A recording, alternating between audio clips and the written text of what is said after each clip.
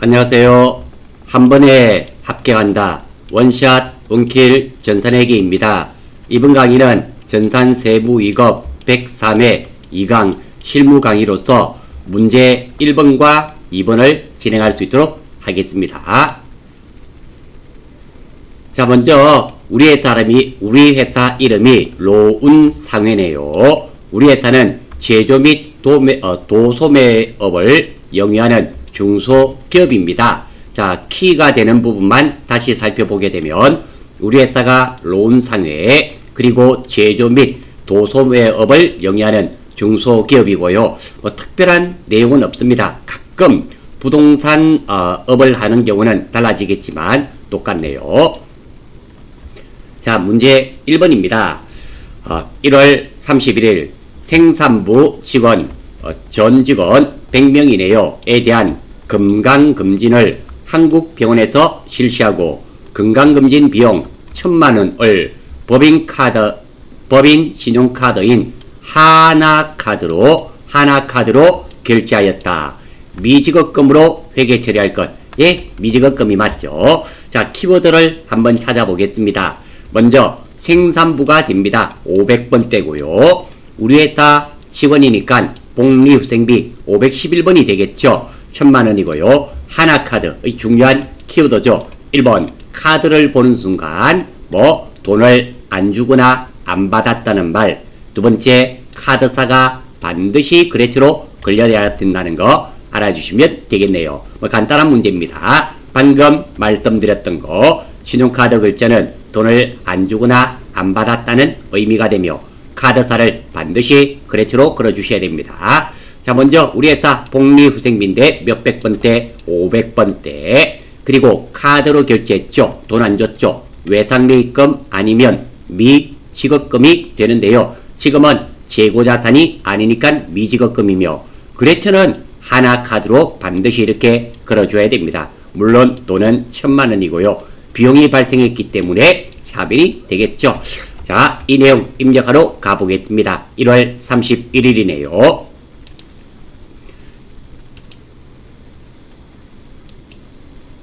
공 1월 31일 차변 3번 어, 복리후생비 511번이죠. 금액은 얼마? 10불불 대변 4번 미지급금 그래서 꼭 하나 걸어주셔야 됩니다. 천만원 입력이 끝나고 나면 아무리 바쁘더라도 꼭 입력된 내용들 확인 한번 해 주시고 넘어가시기를 바랍니다. 1번 아주 간단한 문제네요. 자, 2번 한번 살펴보겠습니다. 자, 3월 3일 주 동국 소유의 건물로 사무실을 이전하고 아, 임차 보증금 1,500만원 중 계약금 500만원 2월 3일 지급 아, 이렇게 우리가 입력하는 날짜 이외에 다른 날 특히 이전의 날이 나오면 꼭 2월 3일 조회해 보셔야 됩니다. 제외한 잔금 1천만원을 보통 예금으로 어, 지급하였다. 이거 임차 보증금 지급하는데요. 계약금 먼저 준 거 있죠? 선거금이 되겠죠? 됐고 나머지 천만 원을 보통 예금으로 지급한 내용이 됩니다. 자 여기도 키워드를 한번 찾아보면은 임차 보증금이 되며 2월 3일이 키워드가 됩니다. 자 일단 저도 2월 3일 날 정보를 확인하겠습니다. 02월 03일 물론 안 들어있는 경우도 있습니다. 자 보니까 차변에 어, 선거금 동국이 그리고 어, 500만원 자 차변의 선거금이니까 이 선거금이 정산돼야 되겠죠. 무조건 대변이 선거금이 선급금이 되어야 됨을 알 수 있습니다. 문제는 아주 간단한 내용이네요. 자 따라서 이 내용 임차 보증금 지급하는 내용입니다. 계약금 먼저 준 거 있죠? 선거금 되고요. 보통 예금으로 천만 원 지급했습니다. 팀 짜고 보통 예금이라는 자산이 감소되어서 대변이 되겠네요. 채권 채무에 관련된 계정과목 거래처를 걸어줍니다. 선거금은 다 그런데요. 임차 보증금 이것도 어, 무엇이 됩니까? 채권이 됩니다. 그러니까 꼭 거래처를 걸어주셔야 됩니다. 거래처는 걸어야 될지 말아야 될지 애매한 경우는 무조건 걸어주시면 됩니다. 자 입력하러 가볼게요. 3월 3일입니다. 03월 03일 차변 3번 임차 아 요건 못 외우겠네요. 계정 과목 코드를 임차 보증금 금액은 얼마? 1호 뿔뿔. 대변 4번. 어, 선거금, 선거금, 선거금, 아, 선거, 선급금. 그랬죠. 그래 줘야 되겠죠. 동국이, 동국이. 어, 위에도 그렇지 안 그렇네요. 금액은 얼마? 5뿔뿔. 자, 대변 입력하고 나서 걸겠습니다. 대변 4번 보통 예금이죠. 보통 예금. 스페이스 한번 눌러주면 묻어 나오지 않습니다. 천만원. 그리고 음, 여기에 동국이 동국. 자 이렇게 걸어주시고요. 예 아무 문제가 없네요. 자 입력이 끝나면 꼭 이렇게 확인 차변 대변 이런 거 확인하셔야 됩니다. 의외로 이게 잘못되는 경우가 있고요. 그랬죠. 정확하게 걸렸는지 확인하시고 아, 이상이 없는지 확인하면 되겠습니다. 뭐 크게 어려운 문제는 아니고요. 3번입니다. 자, 3월 31일 단기 시세 차익 목적으로 음, 단기 시세 차익 목적이니까 단기 매매 정권이 되겠죠.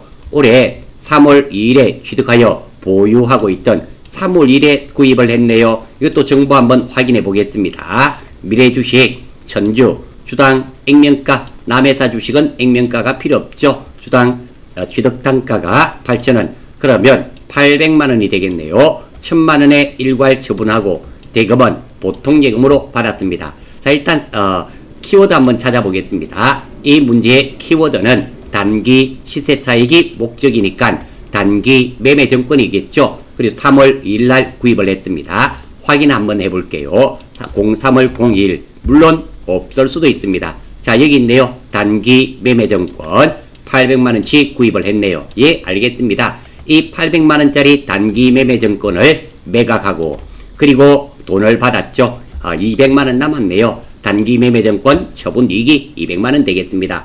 자, 요거 넘어가기 전에 유가증권에 대해서 한번 살펴보고 간단하게 살펴보고 진행하겠습니다.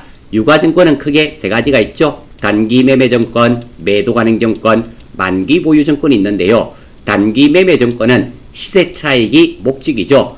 그리고 또 단기 투자의 목적입니다. 장기 투자의 목적이면 매도 가능 정권이 되고요. 단기 차이, 시세 차익이 목적이라든지 단기 매, 어, 투자의 목적이면 단기 매매 정권이 됩니다. 특히 이 부분 단기 투자는 단기 매매 정권, 장기 투자의 목적이면 매도 가능 정권인데요. 이 부분을 어, 의외로 실수를 잘 하는 부분이니까 꼭 좀 기억해 주시고요. 그리고 어, 시장성을 상실하면 매도 가능 정권으로 분류한다는 거. 그리고 장기 어, 투자의 목적은 매도 가능 정권이며 그리고 만기 보유 정권은 만기까지 보유할 목적이라는 거 알아주시면 좋겠습니다. 지금은 시세 차익이 단기 시세 차익이 목적이었으니까 단기 매매 정권이 되겠죠.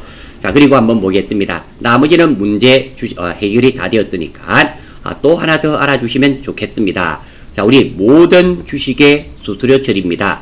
모든 왜 주식 구입하고 매각하고에 따라서 수수료가 필요한 경우가 있죠. 원칙은 살포 팔포 살 때도 사는 거 가격 안에 포함시키고 팔 때도 처분 손익에서 더하고 빼고 하고 어, 수수료 비용은 따로 적지 않습니다.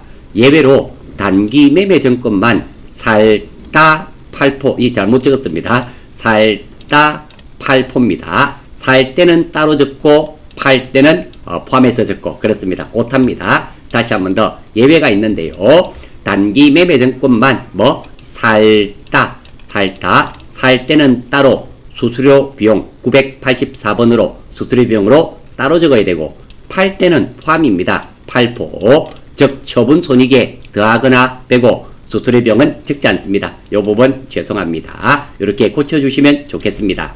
자 아무튼 한번 해보겠습니다. 대변의 단기 매매 정권 800만원 크게 문제 없죠? 어, 보통 예금으로 1000만원 받았네요. 1000만원 크게 문제 없고요. 차변과 대변 돈이 안 맞죠? 대변이 200만원이며 팔아서 이익 받잖아요. 그러니까 단기 매매 정권 처분 이익이 되겠습니다. 아주 간단한 문제네요. 어, 이번 103회는 좀 쉽다라는 생각이 좀 드네요. 자, 한번 보겠습니다. 어, 3월 31일입니다. 31일.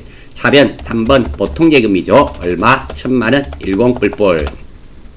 대변 단기 매매정권 107번이죠. 금액은 얼마? 800만원입니다. 그리고 800만원 8뿔뿔. 그리고 대변 4번 단기 매매정권 처분이익이죠. 어, 여기에 보면 처분이익, 처분손실 어, 좀 잘 보셔야 됩니다. 계정 과목이 비슷한 게 4개나 있기 때문입니다. 얼마? 200만원. 예, 입력에는 아무런 문제가 없네요. 자, 4번입니다.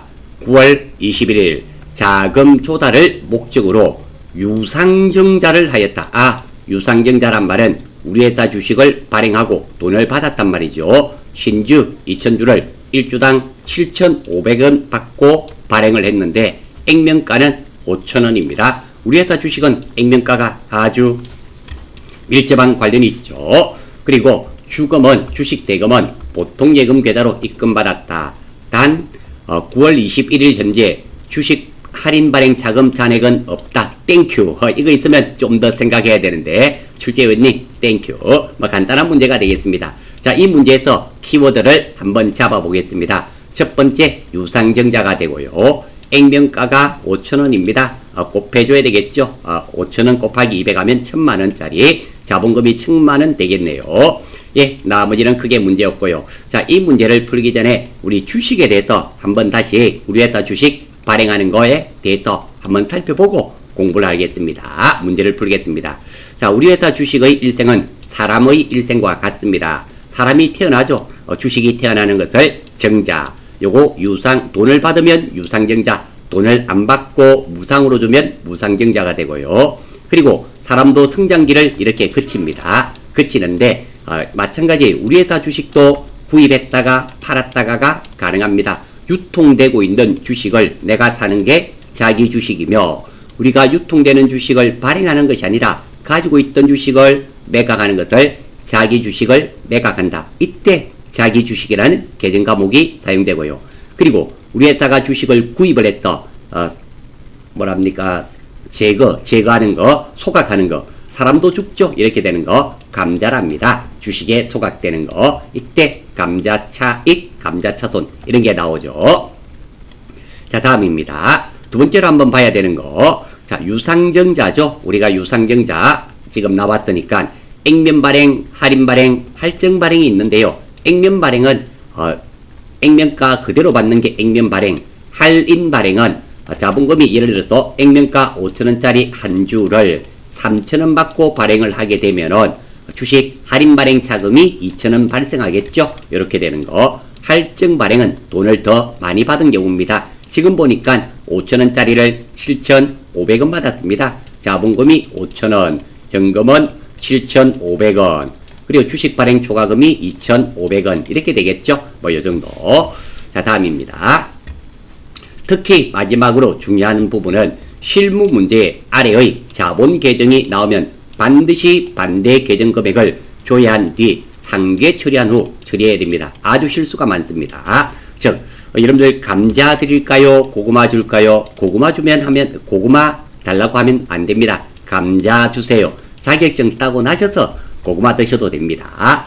감자 드릴까요? 고구마 드릴까요? 물어보면 감자 주세요 해야 됩니다. 이유는 감자 주 요게 자본 계정들입니다. 자본 계정들이라서 즉 감자 차익, 감자 차손, 자기 주식 처분익, 자기 주식 처분 손실, 주식 발행 초과금, 주식 할인 발행 차금 그리고 감자는 어, 설탕에 찍어 먹으면 맛있죠. 설탕도 있습니다. 매도 관행정권 평가익과 매도 관행정권 평가 손실이 문제 풀다가 나오면 반드시 반대 계정 즉 지금 주식 발행 초과금이 나오면 주식 할인 발행 차금이 있는지 없는지 종계정 원장에서 조회를 하고 있으면 상계 처리해야 됩니다. 그런데 이 문제는 없다 그러니까 조회할 필요가 없다라는 거예요.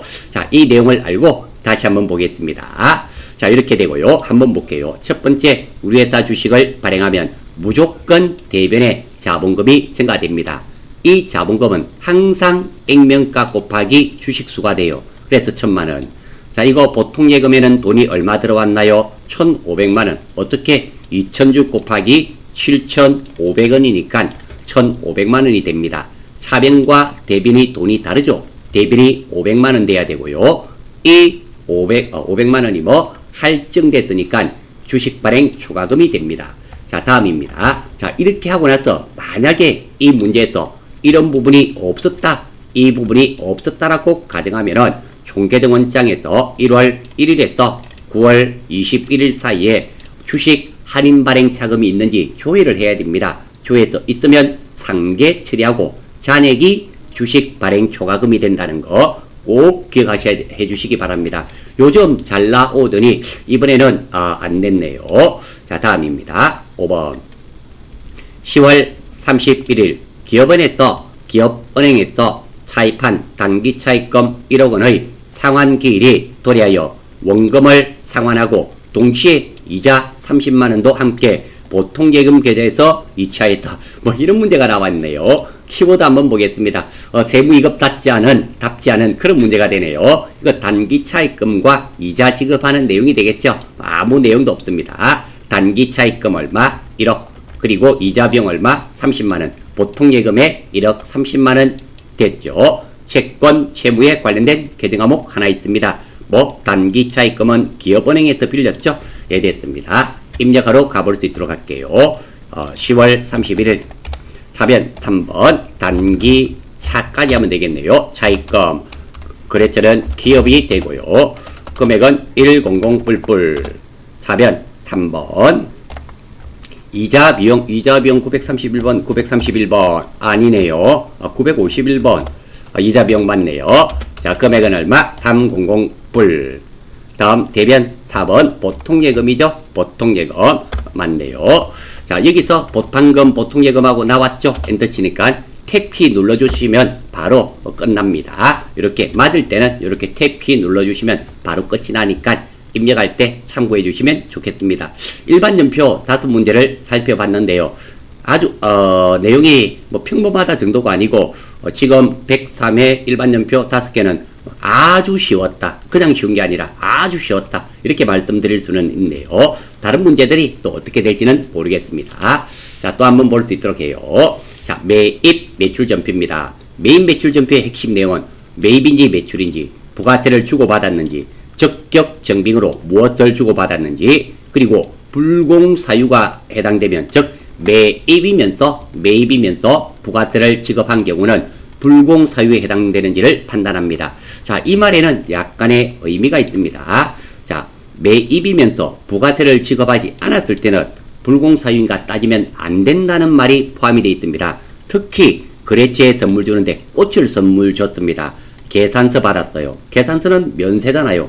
접대비예요. 어, 접대비 불공. 이래버리면 안 됩니다. 그래서 꼭 이 순서대로 매입이면서 부가세를 지급했을 경우에만 불공인가 따져줘야 된다. 방금 말씀드린 거 고래추에 꽃을 선물 준 경우 접대비잖아요. 어, 접대비 아싸 불공 아싸 틀려버립니다. 부가세 지급하지 않은 것은 불공이 없다라는 겁니다. 그 점 유의해 주시면 좋겠습니다.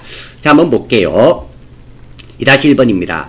7월 28일 자 부품의 제작에 필요한 원재료를 수입하고 김해 세관 어, 제일 중요한 거네요. 김해 세관 세관이 나왔습니다. 어, 로부터 수입 전자 세금 계산서를 발급받았다. 부가가치세는 현금으로 지급하였다. 예, 알겠습니다. 자, 키보드 한번 찾아보겠습니다. 제일 중요한 키보드는 김해 세관이 되고요. 수입 전자 세금 계산서 부가세를 현금으로 납부했습니다. 자, 증빙 서류에서는 수입 전자 세금 계산서 날짜 7월 28일 그리고 3천만 원의 부가세 300만 원 김해 세관에는 얼마를 납부했다? 부가세를 냈다 그랬죠. 300만 원을 현금으로 납부했다. 이런 말이 됩니다. 자, 한번 살펴볼게요. 자, 첫 번째. 자, 부가세를 어, 매입입니까? 매출입니까? 지금 돈 주는 내용이잖아요. 그러니까 매입. 부가세를 지급했습니까? 300만 원 지급했죠? 예. 그러면 이렇게 매입이면서 예일 때는 불공사유인가 물어봐야 됩니다. 아니요. 적격 증빙으로 수입 전자 세금 계산서를 교부받았습니다. 그래서 수입, 매입 수입이며 3천에 300 김의 세관이었습니다. 전자 맞죠? 수입 전자니까 맞고 분계는 혼합. 자 이거 대변에 현금 납부했습니다. 뭐 부가세 대급금입니다. 크게 문제없고요. 다음 참고입니다. XX 문제 XX 세관이 나오면 반드시 그런 것은 아닌데 한 95% 이상은 세관에 세관에는 대부분 부가가치세와 관세를 납부합니다. 지금은 부가세를 납부했죠. 이 부분에 해당이 되고요. 관세를 납부하는 경우도 있습니다. 통관하게 되면은 관세를 내는데요. 이 관세는 세금과 공가가 아니죠. 뭐 취득원가입니다. 기계장치 사면서 관세 내었다면 기계장치가 되고요. 원재료 사면서 관세를 내었다면 원재료가 됩니다. 이 부분은 하나 체크해서 기억해 주시면 좋겠네요. 자, 입력하러 가보겠습니다. 7월 28일이네요. 매입 매출 전표입니다. 메인 매출 전표 7월 28일 07월 07월 28일 자 매입이면서 어, 수입이네요. 매입이고 수입 55번입니다. 55.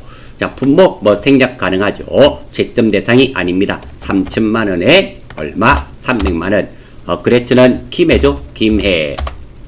세관 전자마저니까 1번 붕괴는 3번.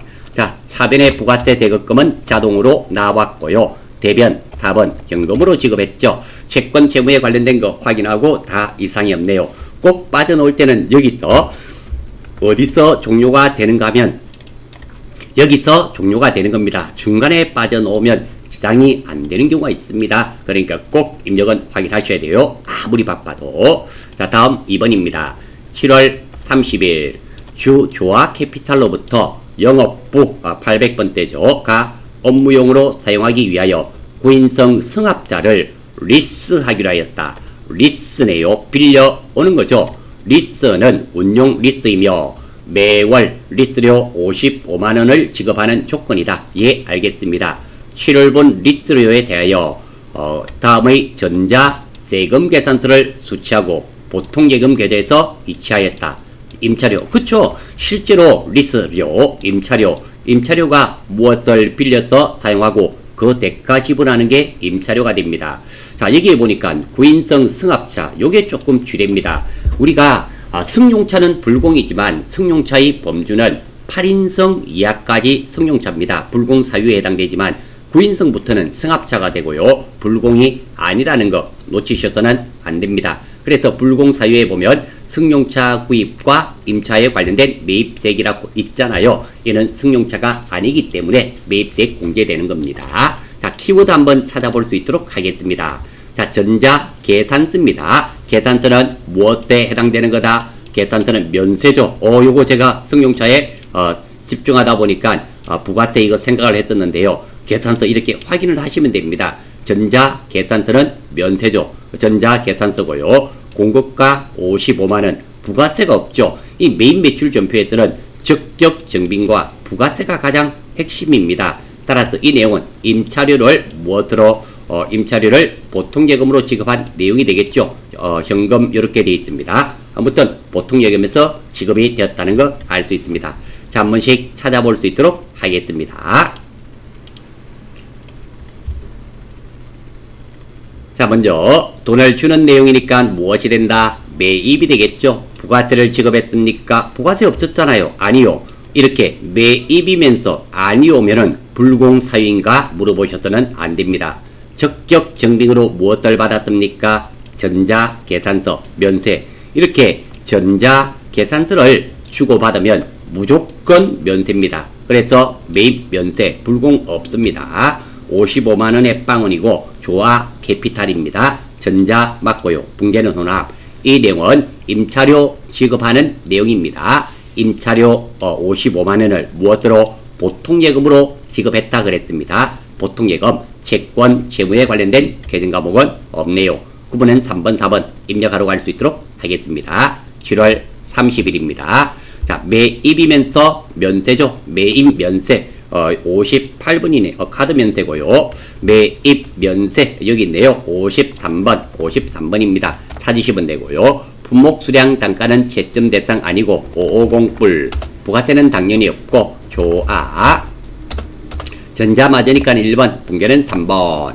자, 차변 원재료가 아니죠. 임차, 임차료 800번대 임차료입니다. 그리고 대변 4번 보통 예금으로 지급했다 그랬습니다. 자, 입력된 거 여기 또 확인 한 번씩 꼭 다 하시고, 어, 요렇게 커서가 내려오면은 끝이 나게 됩니다. 뭐 크게 문제는 없고요. 자, 지금 계산서가 키워드라는 거 요거 꼭 좀 체크하십시오. 그래서 매입 매출 전표할 때는 첫 번째 매입인지 매출인지 두 번째 즉 부가세를 주고받았는지 특히 부가세를 주고받았는지와 적격 정비기 무엇인지 이게 제일 중요한 부분입니다. 자 다음입니다.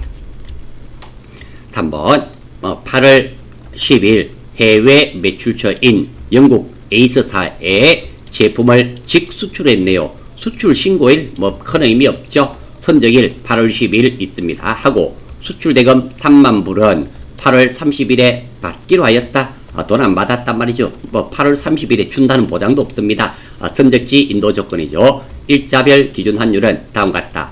이거 제품 수출하고 돈 못 받은 내용이죠. 언제 기준입니까? 8월 10일 이 환율 기준이라는 거. 뭐 충분히 알겠습니다. 키워드 한번 찾아보겠습니다. 제품을 직수출입니다. 선제일이 8월 10일, 오늘도 8월 10일 3만 불치고요. 환율은 8월 10일 환율이 돼야 됩니다. 자, 일단 팔고 돈 받는 내용이니까 매출. 부가세 받았나요? 자, 여기에 부가세란 말 단 한마디도 없습니다. 아니요. 정빙으로 무엇을 발행했습니까? 적격 정빙 뭐 발행했단 말이 없죠. 수출할 때는 발행하지 않습니다. 적격 정빙을 발행하지 않음. 그래서 매출이면서 수출이 됩니다. 매출 수출. 그리고 어, 3만 불 곱하기 요거 하면 되겠죠. 곱해버리면 3,450만 원이 되고요. 당연히 부가세는 없고 영국 에이스사가 되고 전자 아니고 붕괴는 혼합하면 됩니다. 제품 매출 3,450만 원. 돈 못 받았죠? 외상 매출금 아니면 미수금인데 지금은 뭐 외상 매출금이 됩니다. 요거 뭐 크게 문제가 없습니다. 아, 요거 그랬죠? 잘 못 적었네요. 죄송합니다. 요 자동으로 에이스 걸리죠? 아, 이번에 왜 이러나요? 아, 양해 좀 바랍니다. 자, 그대로 입력하면 되니까 한번 출발할게요. 자, 8월 10일입니다. 08월 10일. 자, 유형 매출이면서 수출입니다. 몇 번? 16번 충분히 찾으실 수 있겠죠? 아, 여기 빨간색 나왔네요. 나중에 어, 선택해야 됩니다. 알 수 있고 넘어가고 공급가 34500불. 자, 그랬처럼 뭐 AC, 에이스, 영국 에이스사, 전자는 아니고 자, 여기 한번 보세요. 엔터, 엔터 하니까 이렇게 긴 막대기가 꺼지잖아요. 매입 매출 전표에 이렇게 긴 막대기가 꺼지는 경우는 아래쪽에 무엇을 선택해야 되는 것이 있단 말입니다. 꼭 선택해 주셔야 됩니다. 영세율 구분 점점 눌러주시고요. 이거 직접 수출이죠. 충분히 찾으실 수 있을 겁니다. 확인. 그리고 수출 신고 번호는 생략합니다. 분개는 몇 번? 3번. 자, 대변 제품 매출 맞고요. 차변 3번 돈 못 받았죠? 외상 매출금 맞고요. 어, 요거 영국 에이스한테 받아야 됩니다. 예, 맞습니다. 제가 이거 잘 못 적었습니다. 그리고 엔터. 크게 문제가 없죠? 다음입니다. 4번 9월 25일 당사가 생산한 제품 장부가액 200만원 시가 300만원 부가세 별도네요. 을 생산부 거래처인 주 세무물산에 선물로 제공하였다. 단 제품과 관련된 부가가치세는 적정하게 신고되었다고 가정한다. 아, 이 문제를 좀 틀릴 수는 있겠네요. 크게 어려운, 우리가 세무에 응시하시는 분은 이 정도 문제 좀 받쳐 주셔야 됩니다. 첫 번째입니다. 우리가 생산한 제품을 거래처에 선물 줬습니다. 접대비로 했죠. 식과 과세입니다. 이것이 바로 어, 간주 공급이 되죠. 이것이 간주 공급입니다. 간주 공급에 해당되면 매출이면서 건별입니다. 왜? 어, 적격 증빙을 발행하지 않기 때문입니다. 매출 건별이며 시가 과세입니다. 따라서 자 이거 틀리기 쉬운데요. 일단 차변에 접대비 되는 거 500번째 접대비 되는 거 크게 문제 없죠. 어, 위에 상단은 별 문제 없고요. 접대비가 되고 대변의 제품이 됩니다. 여기서 제품에 뭐 조교 8번 걸어야 되는 거 아시죠? 제품을 제품은 200만 원입니다. 제품이 300만 원이 아니고 내가 준 제품은 200만 원을 줬고 부가세죠. 이 부가세가 시가화됩니다. 부가세가 얼마? 30만 원을 내야 된다. 이 말입니다. 그럼 접대비가 얼마 됩니까? 230만 원이 되겠단 말이죠. 이거 아, 요거 꼭 좀 체크하셔서 기억해 주시기 바랍니다. 다시 한 번 더 정리해 볼게요. 자, 우리 회사가 생산한 제품을 거래처에 선물 줬습니다. 이렇게 되는 것을 간주 공급이랍니다. 간주 공급. 간주 공급에 해당이 되면 우리 이론 공부할 때 나오잖아요. 매출이면서 건멸입니다. 매출 건멸이 되고 두 번째 시가 과세입니다. 시가 과세란 말은 부가세를 시가로 내야 된단 말입니다. 따라서 대변에 제품 줬잖아요. 제품 매출이 아닙니다. 제품 얼마짜리? 200만원짜리 주고 물론 저기 8번 걸어야 됩니다. 걸어주고 부가세를 얼마 내야 된다? 시가가세. 그게 부가세 대급금이 얼마, 아, 예수금이 얼마? 30만 원이 돼야 되겠죠. 그리고 접대비는 이 돈 두 개 다 한 거 230만 원이 돼야 되는 거 이거 좀 기억해 주시면 좋겠습니다. 자 키워드 한번 찾아보겠습니다. 자 어, 부가세 별도고 생산부 500번대임을 알 수 있고요. 선물로 제공했습니다. 자 이것은 뭐 간주 공급입니다. 세금 계산서를 발행하지 않으므로 매출이면서 건별이 되고 과세가 시가과세입니다. 자 내가 주기는 200만원짜리 주고 부가세를 30만원 내야 된단 말이지 이게 어, 300만원짜리 주고 30만원이 아니라는 겁니다. 자 한번 볼게요. 부가세 받았습니까? 아, 예 부가세 내야 되니까 적격증빙 서류 발행 안 했죠? 매출이면서 건별입니다. 날짜는 9월 25일 매출 건별 자 공급가 300 부가세 30 세무물산에 줬습니다. 당연히 전자는 아니고요. 자 여기죠. 제품 200만원짜리 주고요.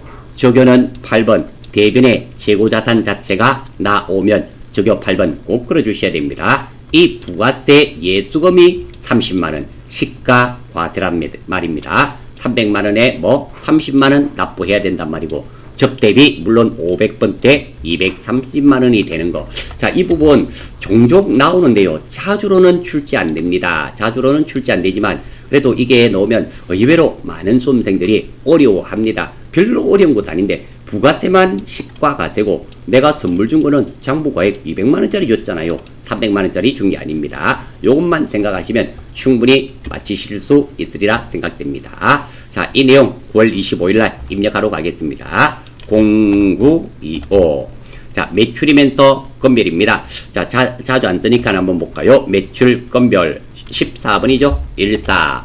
자, 품목 수량 남겨놓고요. 300만원이죠. 3뿔뿔에 얼마? 30만원. 돈이 틀렸죠? 틀리면 3뿔뿔에 얼마? 300뿔. 이렇게 입력하시면 됩니다. 세무에게 주었습니다. 세무. 세무. 됐고요. 전자니고 분계는 몇 번? 3번. 자, 대변 잘 보셔야 됩니다. 제품 매출이 아니라 뭐? 제품이죠? 어, 제품입니다. 그리고 제품.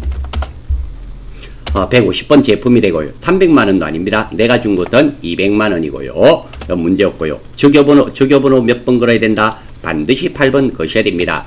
대변에 재고자산 자체가 나왔을 때는 반드시 적여 8번 걸어야 됩니다. 자, 다음 차변 3번 접대비죠. 접대 500번대 접대비입니다. 230만원. 예, 문제가 없네요. 혹시 모르니까 확인 한 번, 확인 한 번 더 해보겠습니다. 매출이면서 건별이면서 문제없고요. 세무 문제없고 자 대분의 제품 타계정으로 대체액 200만원 됐고요. 접대비 500번대 230만원 예 문제없습니다. 자 마지막 문제 한번 볼게요. 9월 30일입니다. 해민의 제품 3천만원 공급가액 어 공급가액이니까 부가세 300만원이 있겠네요. 판매하고 아래 전자 세금 계산서를 발급하였다. 제품 팔고 3천만원짜리 팔고 돈 받는 내용이네요. 7월 31일 계약금 1천만원을 보통 예금 계좌로 입금받았으며 나머지 잔액은 그러면 2,300만원이 되겠죠. 못 받았네요. 예, 알겠습니다. 특별한 건 없고요. 키워드 한번 찾아보겠습니다. 자, 먼저 전자 세금 계산서 발행했고요. 7월 31일 어, 계약금 1천만원 받은 거 선수금이 되겠죠. 예, 문제없고 전자 세금 계산서 혜민에게 팔았고요. 그리고 어, 요거는 9월 30일 날 공급을 했는가 봐요. 9월 30일 날 공급했죠. 3천만 원에 300만 원 현금 계약금 받은 거 있죠. 외상 미수금 제품 팔고 돈을 못 받았으니까 어, 외상 매출금이 되겠죠. 자, 이것도 9월 30일 날 일반 전표 한번 확인해 보겠습니다. 자, 한번 볼게요. 혹시 모르니까 뭐 뭐라고 됐는지 실수를 방지하기 위해서 봅니다. 09월 30일 9, 아, 9월 30일이 아니죠. 언제였나요? 7월 31일 07월 07월 31일 물론 없을 수도 있습니다. 어이구 뭐가 많네요. 아, 여기 보니까 뭐 뭐가 많아서 못 찾겠습니다. 그냥 이러면 넘어가면 됩니다. 우리 선수금 받았단 말이죠. 자 다음입니다. 있는지 없는지 확인 한번 하고 정보를 보자는 뜻이지 뭐 완전히 찾아내자 이런 뜻은 결코 아닙니다. 자 출발 한번 해볼게요. 첫 번째 부가세를 받았습니까? 예 300만원 받았죠. 예. 자 그리고 정빙으로 무엇을 발행했습니까? 전자세금 계산서. 그래서 매출과세가 되고요. 매출과세이며 3천에 300 해민에게 팔았습니다. 전자 맞죠? 붕괴는 혼합. 제품 매출 3천, 부가세 입수금 300, 그리고 선수금 1천만 원에 외상 매출금 200, 2,300만 원. 그게 문제 없죠. 채권 채무에 관련된 계정 과목 있네요. 외상 매출금과 선수금 누굽니까? 둘 다 해민이니까 그래 적을 필요 없네요. 구분은 3번, 4번. 자, 입력하러 가보겠습니다. 9월 30일이죠. 9월 30일. 09월 30일. 자, 유형 매출 과세입니다. 11번 엔터 엔터. 3천만 원에 300만 원. 별 문제 없고 해민 어, 그게 문제 없고 전자 맞으니까 1번 분개는 3번. 대변 제품 매출 부가세 예수금 금액 다 맞고요. 차변 3번. 선수금 선수금 선수금 선수금 선수금 선수금 259번. 아 맞네요. 아 죄송해요. 3뿔 아, 천만 원. 아, 10 뿔뿔 자 대변 차변 3번 어, 외상 매출금 108번이죠. 2,300만원. 코드번호 꼭 외울 필요 없습니다. 자주 쓰면 자동으로 외워집니다. 저도 외우려고 뭐 발부둥 치고 그러진 않습니다. 자, 이렇게 하면 입력이 끝났네요. 꼭 입력이 끝나면 확인하는 버릇을 가져주시면 좋겠습니다. 자, 이름으로써 전산 세부 이급 103회 2강 실무 강의는 모두 마치도록 하겠습니다. 댓글을 통한 여러분들의 많은 질문 기다리겠습니다. 많은 분들의 질문이 모였을 때 합격에 명중됩니다. 열공하셔서 꼭 원샷 원킬 하십시오.